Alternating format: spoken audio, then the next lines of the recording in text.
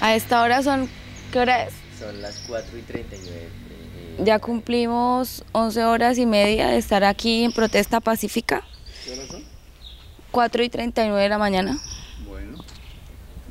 Sí. Estamos eh, haciendo una protesta pacífica, pues la empresa Visalú, y- eh, Visalú en Casa IPS nos adeuda los salarios. Hay compañeras que les den seis meses de este año, meses de, del 2017.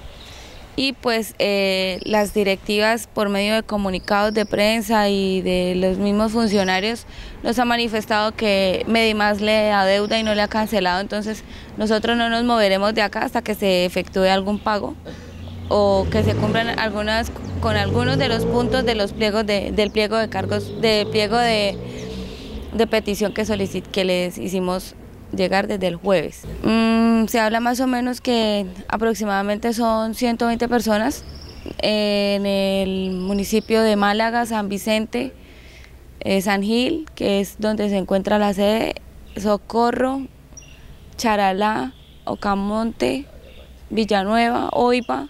En estas poblaciones ellas vienen y nos están pues brindando apoyo desde las redes. Hoy al parecer vienen algunas compañeras del Socorro a apoyarnos. La idea fue de quedarnos adentro, pero por cuestiones legales y por por sugerencia de la policía nos dijo nos dijeron que mejor nos quedáramos afuera.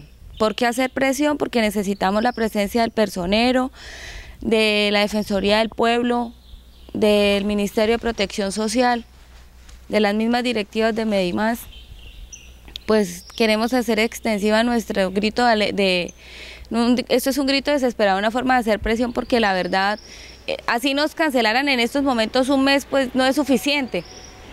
Entonces, esto, por eso decidimos hacer presión de esta forma y no nos levantaremos de acá hasta que no haya una, una solución. En mi caso personal, soy madre cabeza de familia, tengo una niña de 8 años y pues más que nadie sabe que los niños tienen gastos diarios y pues no, yo debo responder por mi hija. Hay compañeros que no tienen hijos pero responden por sus hogares. Hay compañeras que tienen hogares, sus esposos, pues tampoco la idea es como recargarse en las otras personas, ¿no? Pues eh, hasta que nos den una respuesta, hasta que haya plata en las cuentas suficiente para cancelar ca- cancelar las obligaciones pendientes.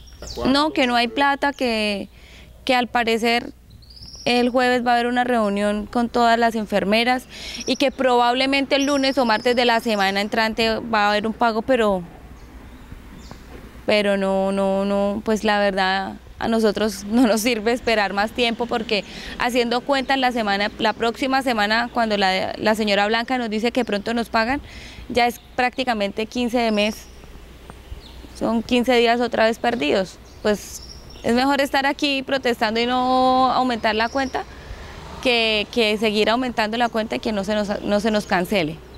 Mm, porque depende de la respuesta que tengamos en el transcurso del día, pensamos encadenarnos.